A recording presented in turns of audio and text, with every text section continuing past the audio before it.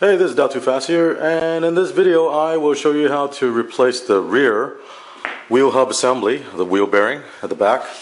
And what I've noticed is, um, started about a month ago, the back of the car, uh, you can hear this really uh, loud uh, groaning sound when you hit about 45, 50 miles an hour.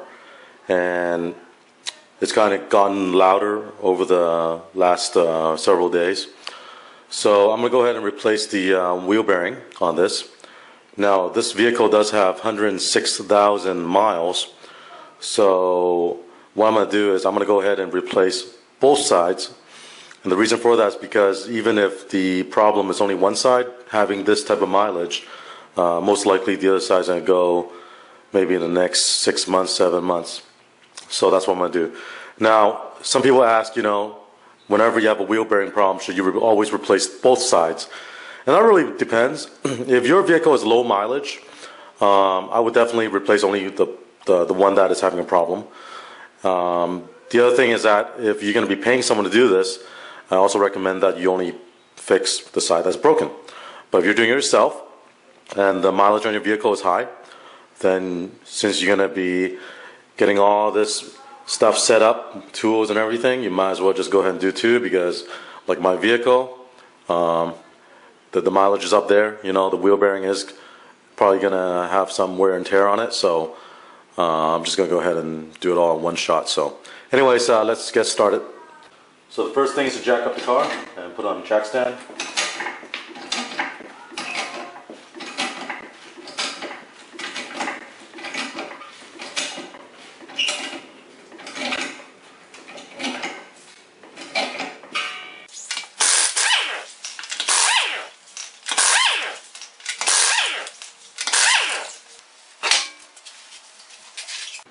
If you come around to the back, you'll see two 19 millimeter bolts holding down the um, caliper and keeping the rotor from coming off. So there's a top one, and there's another one down below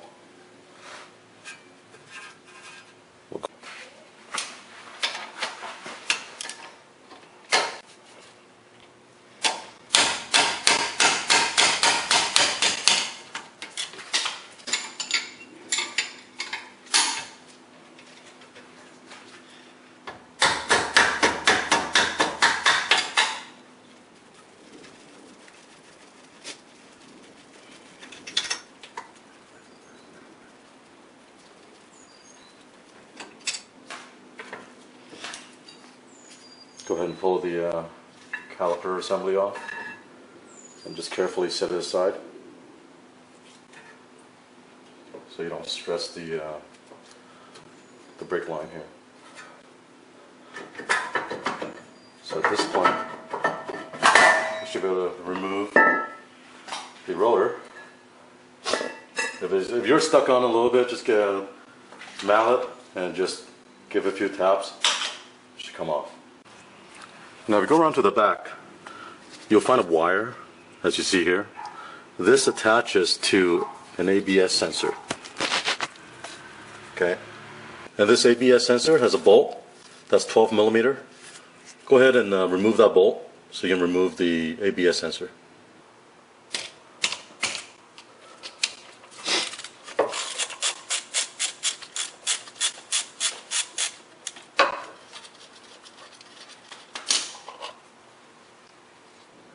So now we can carefully pull the ABS sensor out. So here it is. Just put it aside. Make sure you don't damage it. You'll see these four bolts. These four bolts you see here is what's holding the uh, wheel hub assembly. So these are 17 millimeter. And go ahead and remove those.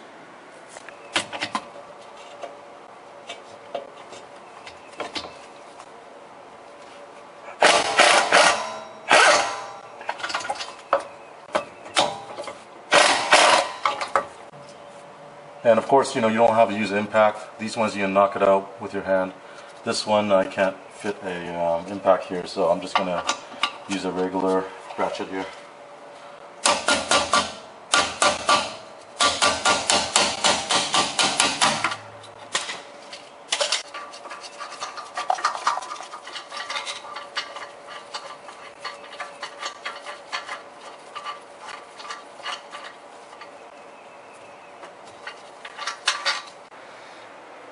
So with the bolts removed, this unit comes right off. Um, I just want to point out about the ABS sensor. Some of you watching this might wonder, well, why do you need to take it out? Because it doesn't interfere with the hub assembly uh, being removed. But I just want to be extra safe, and also because the four bolts is above and, and below that area, uh, I just didn't want to take any chance, so I went ahead and take that bolt off. It takes less than a minute. Remove it, set it aside, so you don't risk damaging anything. The replacement bearing I'm going to use is uh, Timken part number HA590109. And there's a box for it inside. This is the bearing. Timken's a great company. They make great uh, wheel bearings. So let me take a moment to show you the old wheel bearing that I took out. And just have a listen.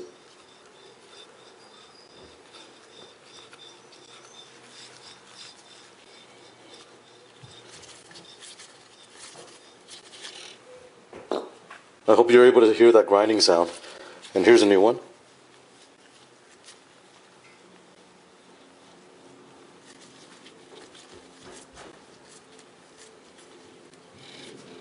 I want to show you that because some people say, you know, you can uh, tug on the wheel at the, I think it's like 9 o'clock and 3 o'clock position or 12 and 6 position and see if it wiggles. None of the uh, wheel that uh, I checked had that play in it. I'm sure if you drive it long enough, you'll, you'll start getting that wobbly um, looseness because the, wear, the bearing is wearing out really bad. But uh, I had a lot of noise and there weren't any play when you wiggle the wheel. So I just want to show you that you can actually hear the grinding sound.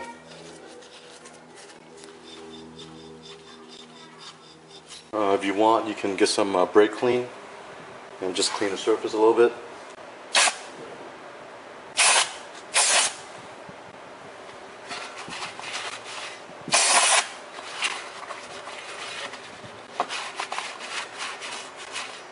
Now on the uh, wheel bearing, you'll notice that the, there's one side with a notch here.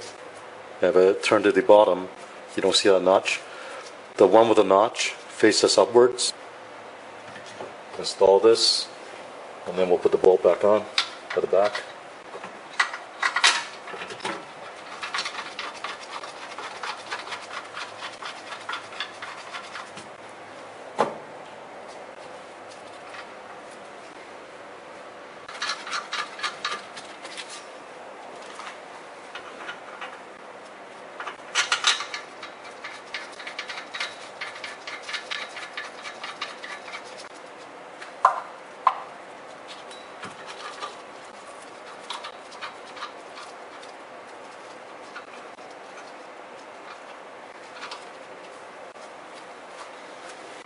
The next thing is to tighten those bolts at the back. The uh, factory service uh, manual asks for 44 foot-pounds, and that's why I have here a torque wrench. I'll go ahead and uh, torque the back uh, four bolts to 44 foot-pounds.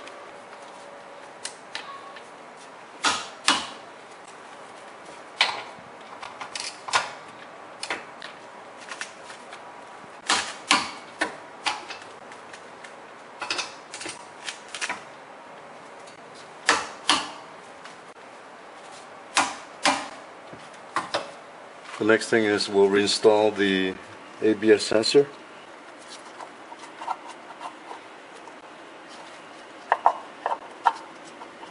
And before installing the uh, bolt for the ABS sensor, I'm just going to put a light coat of uh, just a little bit, so in the future, make sure it doesn't get seized.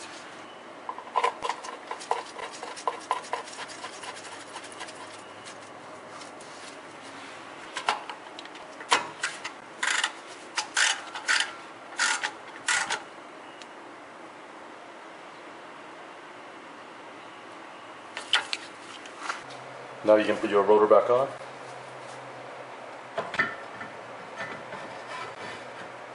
And then now you can reinstall the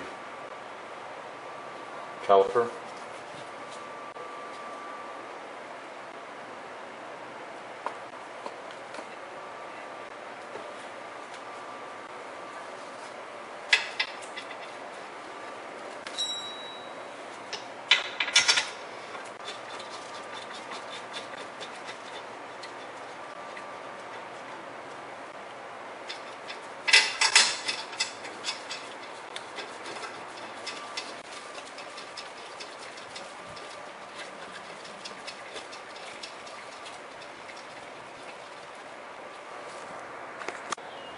For the torque member bolts that's holding the uh, caliper bracket on the back, you need to torque that to 62 foot-pounds.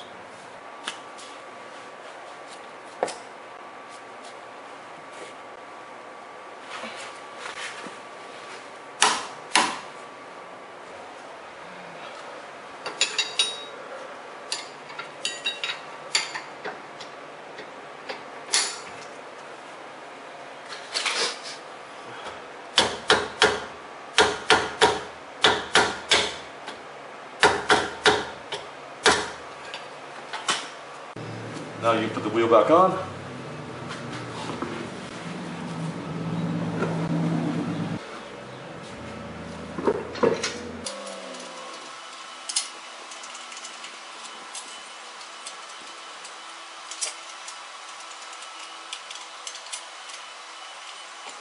So there you go. This is the uh, how-to on replacing the rear wheel bearing hub assembly on this Nissan Quest. Now I did do another uh, more of a picture tutorial on doing the front uh, wheel bearing uh, hub assembly. I will uh, put a link to that near the end of the video. So if you want to look at the front one, um, just click on that. But anyways, I hope you uh, enjoyed watching this video. If you have any questions, uh, leave me a comment below. All right, thank you. Bye.